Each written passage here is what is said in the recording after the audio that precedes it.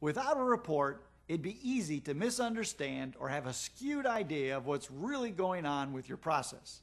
The generation of reports within a control system is a vital way to provide and distribute accurate process information to the entire organization. When it comes to system reporting, the difference between APACS OS and Wonderware InTouch is easy to explain. APACS OS has system reporting as a built-in function. Wonderware does not. It's that simple.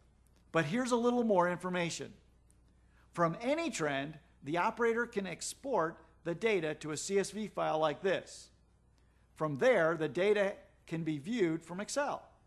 Just select the Data Export Tool button and export to any computer or folder on the system. APACS OS's standard report designer allows a report to be generated containing any system configuration and process control information you need, as well as real-time process values, archive data, process trends, and alarm messages. You can use the existing templates, modify them, or create your own. And you decide how often you want to see the reports. Set them up to automatically print once a week, once a month, whenever. And you can go in anytime and manually get the information.